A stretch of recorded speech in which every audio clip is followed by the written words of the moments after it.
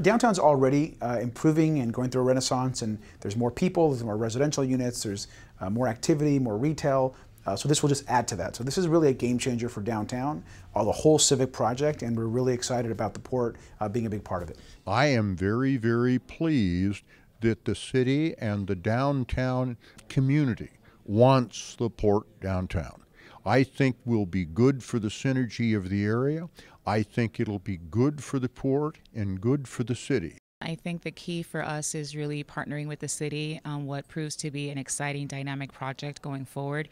We are a partner with the city, we're a department of the city, and I think that improving civic engagement and being centered right downtown at the heart of the new Civic Plaza it will be extraordinary for us.